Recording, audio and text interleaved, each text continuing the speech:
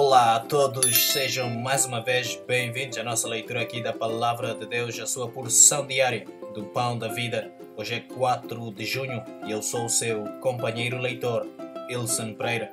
Mas antes de avançarmos, gostaria de vos recomendar que se inscrevam todos aqui no canal e que abençoem de igual modo os vossos familiares e amigos com esse mesmo conteúdo diariamente, partilhando-o com eles.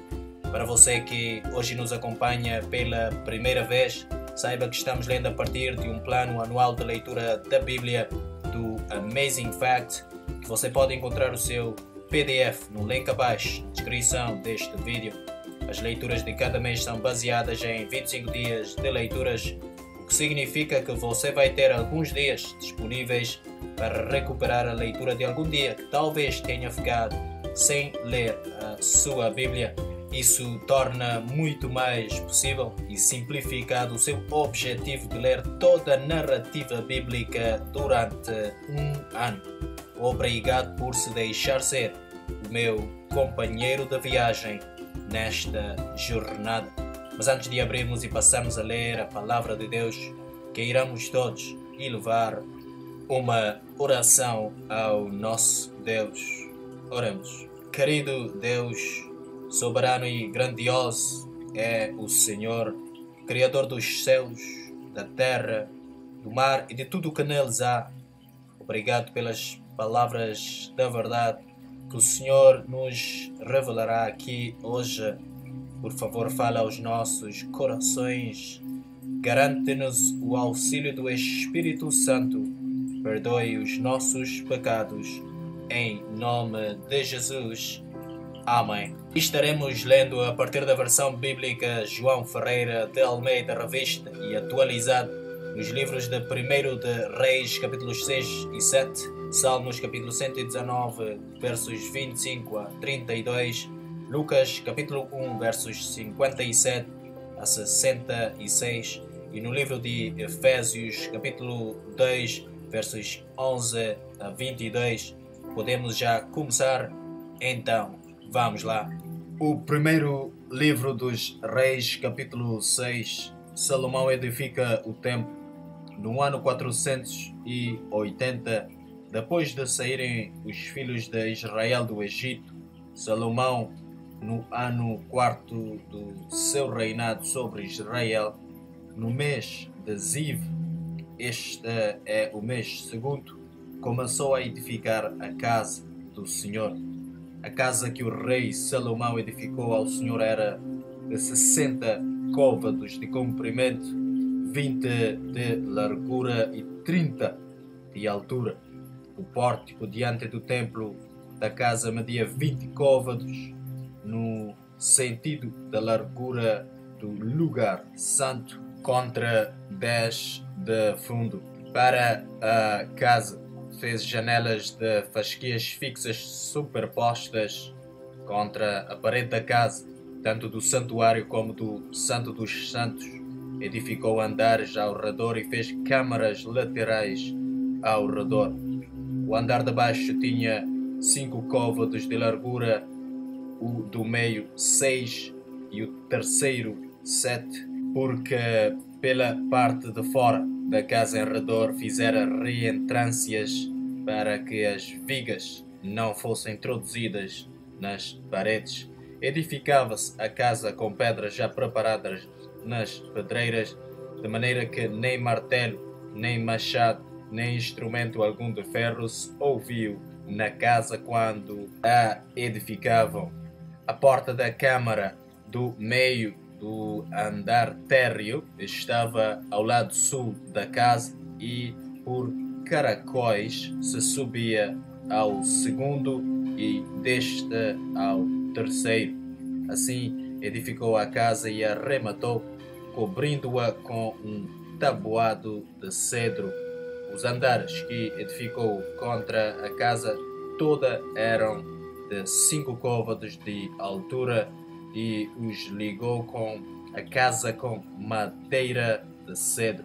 Então veio a palavra do Senhor a Salomão, dizendo: Quanto a esta casa que tu edificas, se andares nos meus estatutos e executares os meus juízos, e guardares todos os meus mandamentos, andando neles, cumprirei para contigo a minha palavra, a qual falei a Davi, teu pai, e habitarei no meio dos filhos de Israel, e não desampararei o meu povo. O Santo dos Santos. Assim edificou Salomão a casa e a rematou. Também revestiu as paredes da casa por dentro com tábuas de cedro, desde o soalho da casa até ao teto. Cobriu com madeira por dentro e cobriu o piso da casa com tábuas de cipreste. Da mesma sorte, revestiu também os vinte côvados dos fundos da casa com tábuas de cedro, desde o soalho até ao teto, e esse interior ele constituiu em santuário, a saber, o Santo dos Santos. Era, hoje, o santo lugar do templo de quarenta côvados. O cedro da casa por dentro era lavrado de colossíntidas e flores abertas. Tudo era cedro, pedra nenhuma se via. No mais interior da casa, preparou o Santo dos Santos para nele colocar a arca da aliança do Senhor. Era o Santo dos Santos de vinte côvados de comprimento, vinte de largura e vinte de altura, cobriu-o de ouro puro. Cobriu também de ouro o altar de cedro. Por dentro, Salomão revestiu a casa de ouro puro e fez passar cadeias de ouro por dentro do Santo dos Santos, que também cobrira de ouro. Assim cobriu de ouro toda a casa inteiramente e também todo o altar que estava diante do Santo dos Santos. Os dois querubins. No Santo dos Santos fez dois querubins de madeira de oliveira, cada um da altura de dez côvados. Cada asa de um querubim era de cinco côvados. Dez côvados havia, pois, de uma a outra extremidade de suas asas. Assim, também era de dez côvados o outro querubim. Ambos mediam o mesmo e eram da mesma forma. A altura de um querubim era de dez côvados e assim a do outro, pois os querubins no mais interior da casa, os querubins estavam de asas estendidas, da maneira que a asa de um tocava na parede e a asa do outro tocava na outra parede, e as suas asas no meio da casa tocavam uma na outra, e cobriu de ouro os querubins. Ornamentação das paredes e das portas. Nas paredes todas, tanto uh, no mais interior da casa como no seu exterior, lavrou ao redor entalhes de querubins, palmeiras e flores abertas. Também cobriu de ouro o soalho, tanto no mais interior da casa como no seu exterior. Para a entrada do Santo dos Santos, fez folhas de madeira de oliveira a verga com as ombreiras formavam uma porta pentagonal. Assim fabricou de madeira de oliveira duas folhas e lavrou nelas entalhes de querubins, de palmeiras e de flores abertas a estas, como as palmeiras e os querubins, cobriu de ouro. Fez para a entrada do santo lugar ombreiras de madeira de oliveira, entrada quadrilateral cujas folhas eram de madeiras de cipreste e as duas tábuas de cada folha eram dobradiças, e as lavrou de querubins, de palmeiras e de flores abertas e as cobriu de ouro acomodado ao lavor. Também edificou o átrio interior de três ordens de pedras cortadas e de uma ordem de vigas de cedro no ano quarto se pôs o fundamento da casa do Senhor no mês de Ziv, e no ano undécimo, no mês de Bul, que é o oitavo, se acabou esta casa com todas as suas dependências, tal como devia ser. levou Salomão sete anos para edificá-la. O primeiro livro dos Reis, capítulo 7, Salomão edifica palácios reais. Edificou Salomão os seus palácios, levando treze anos para os concluir. Edificou a casa do bosque do Líbano, de cem côvados de comprimento, cinquenta de largura e trinta de altura, sobre quatro ordens de colunas de cedro e vigas de cedro sobre as colunas. A cobertura era de cedro, abrangendo as câmaras laterais em número de 45, 15 em cada andar, as quais repousavam sobre colunas. Havia janelas em três ordens e janela oposta à janela em três fileiras. Todas as portas e janelas eram quadradas e janela oposta à janela em três fileiras. Depois fez o salão das colunas de 50 côvados de comprimento e 30 de largura e havia um pórtico de colunas da fronte dele, um baldaquino. Também fez a sala do trono onde julgava, a saber, a sala do julgamento, coberta de cedro desde o soalho até ao teto. A sua casa, em que moraria, fê-la noutro pátio, atrás da sala do trono, de obra semelhante a esta, também para a filha de Faraó, que tomara por mulher, fez Salomão uma casa semelhante à sala do trono. Todas estas construções eram de pedras de valor, cortadas à medida, cerradas para o lado de dentro e para o de fora, e isto desde o fundamento até as beiras do teto e por fora até ao átrio maior. O fundamento era de pedras de valor, pedras grandes, pedras de dez côvados e pedras de oito côvados. Por cima delas, pedras de valor cortadas segundo as medidas e cedros. Ao redor do grande átrio havia três ordens de pedras cortadas e uma ordem de vigas de cedro.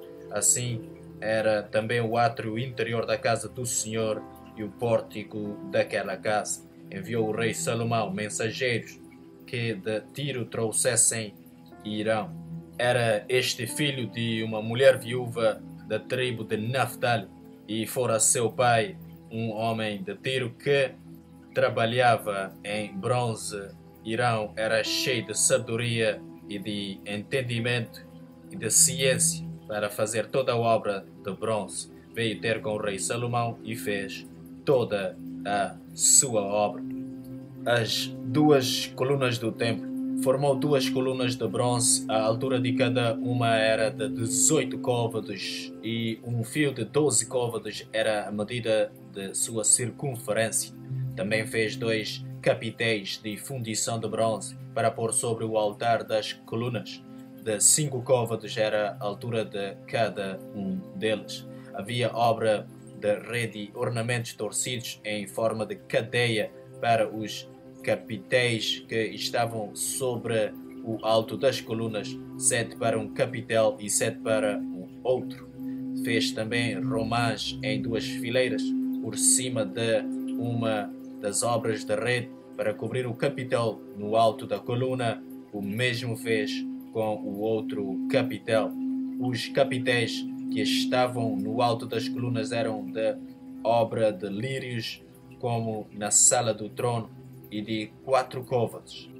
Perto do bojo, próximo à obra de rede, os capitéis que estavam no alto das duas colunas tinham 200 romãs dispostas em fileiras em redor sobre um e outro capitel. Depois, levantou as colunas no pórtico do templo, tendo levantado a coluna direita, chamou-lhe Jaquim, e tendo levantado a coluna esquerda, chamou-lhe Boaz. No alto das colunas estava a obra de lírios, e assim se acabou a obra das colunas o mar de fundição. Fez também o mar de fundição redondo de 10 côvados de uma borda até a outra borda e de 5 de altura e um fio de 30 côvados era a medida de sua circunferência. Por baixo de sua borda em redor havia colossíntridas, dez de cada côvado estavam em duas fileiras fundidas quando se fundiu o mar. Assentava-se o mar sobre doze bois, três olhavam para o norte, três para o ocidente, três para o sul e três para o oriente. O mar apoiava-se sobre eles, cujas partes posteriores convergiam para dentro. A grossura dele era de quatro dedos e a sua borda, como borda do corpo, como flor de lírios, comportava dois mil batos. Outros utensílios para o templo. Fez também de bronze dez suportes, cada um media quatro côvados de comprimento, quatro de largura e três de altura. E eram do seguinte modo: tinham painéis que estavam entre molduras nos quais havia leões, bois e querubins. Nas molduras de cima e de baixo dos leões e dos bois havia festões pendentes.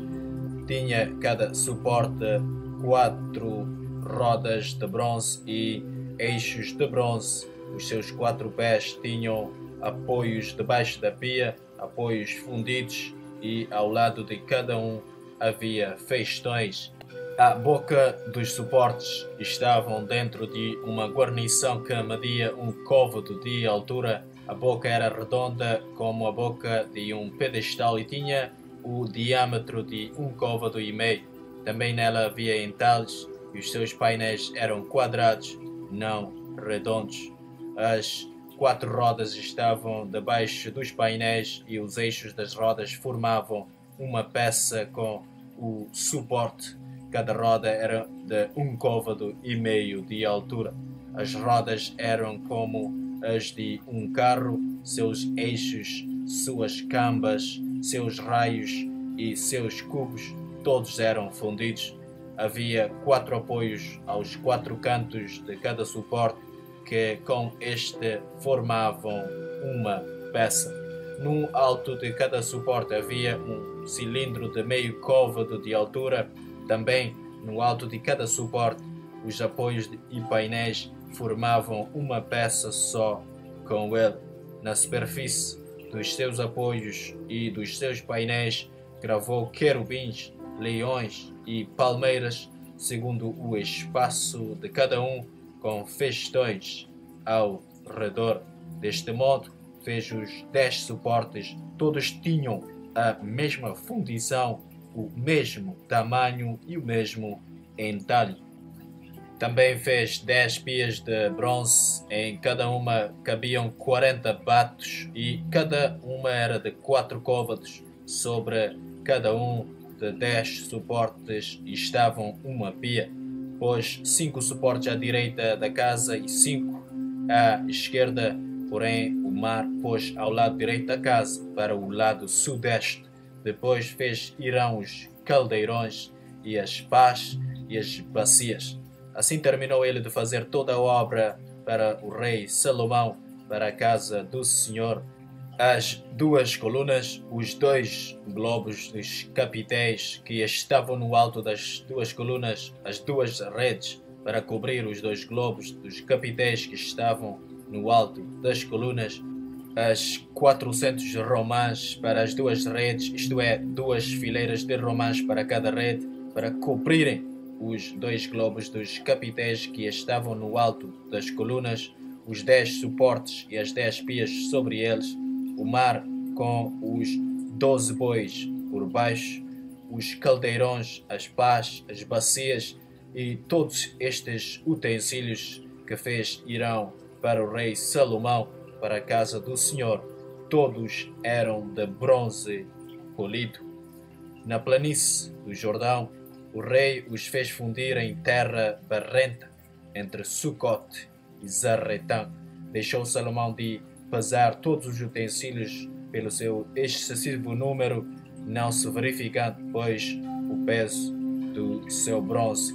Também fez Salomão todos os utensílios do santo lugar do Senhor o altar de ouro e a mesa de ouro sobre a qual estavam as pães da proposição, os castiçais de ouro finíssimo, cinco à direita e cinco à esquerda, diante do Santo dos Santos, as flores, as lâmpadas e as espivitadeiras também de ouro. Também as taças, as espivitadeiras, as bacias, os recipientes para incenso e os braseiros de ouro finíssimo, as dobradiças para as portas da casa interior para o Santo dos Santos e as portas do santo lugar do templo também de ouro. As dádivas de Davi colocadas no templo.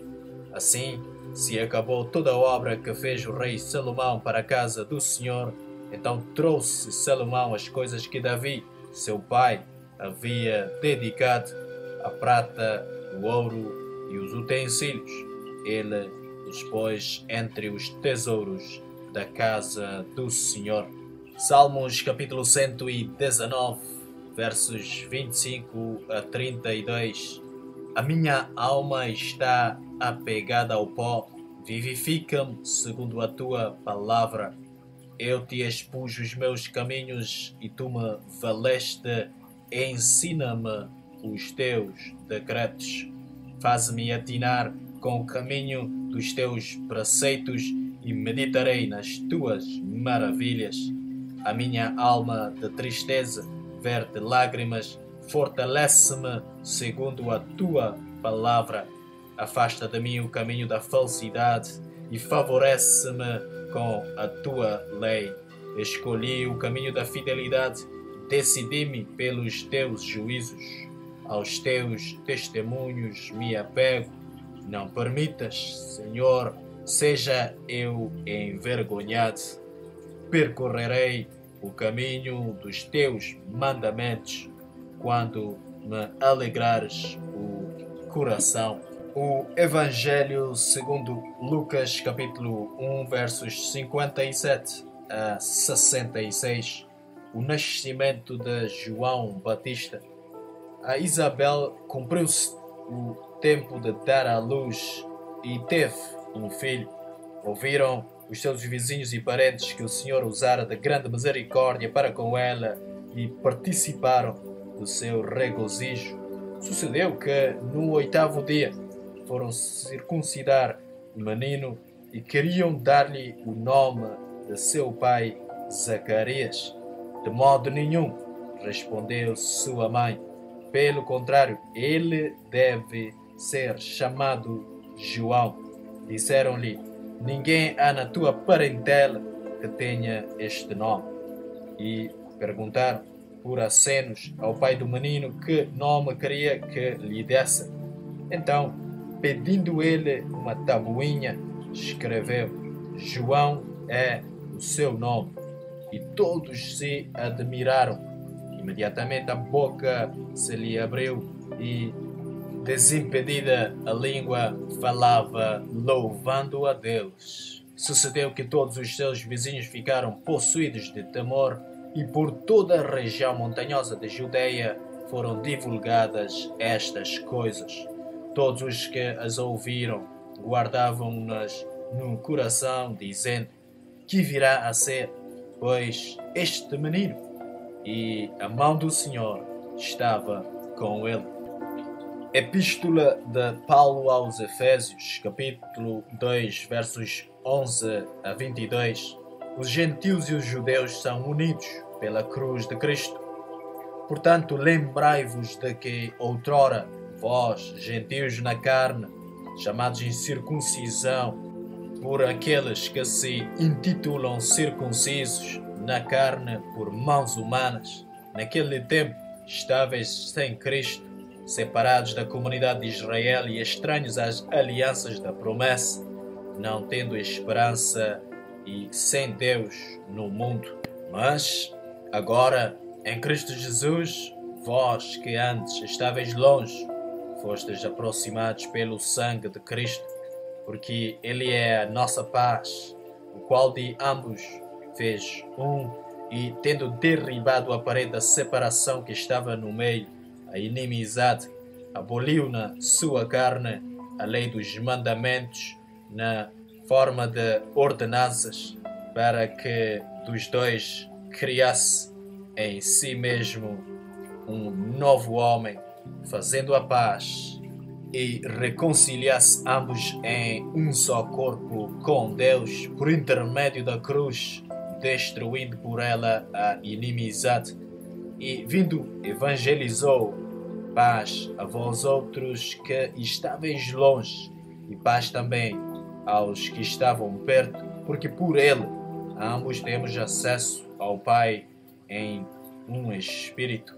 Assim, já não sois estrangeiros e peregrinos, mas concidadãos dos santos, e sois da família de Deus, edificados sobre o fundamento dos apóstolos e profetas, sendo Ele mesmo, Cristo Jesus, a pedra angular, no qual todo o edifício bem ajustado cresce para santuário dedicado ao Senhor no qual também vós juntamente estáis sendo edificados para habitação de Deus no Espírito. Aqui assim terminamos a leitura da Palavra de Deus, conforme era o nosso plano de leitura por hoje. Vamos neste momento fechar com umas palavras finais de agradecimento em oração ao nosso Senhor. Oremos. Nosso Deus, nosso Pai, obrigado pela tua palavra absoluta da verdade Obrigado pelas coisas que aqui nos foram acrescentadas como revelação neste dia. Por favor, ajuda-nos com a sua aplicação em nós. Em nome de Jesus. Amém. Muito obrigado mais uma vez por aceitar, escutar e acompanhar aqui a palavra de Deus. Por favor, se gostar ou se tem qualquer comentário, deixa-nos o seu gosto, a sua inscrição aqui no canal e ative as notificações para poder acompanhar as próximas leituras diariamente. Voltamos a nos encontrar aqui amanhã.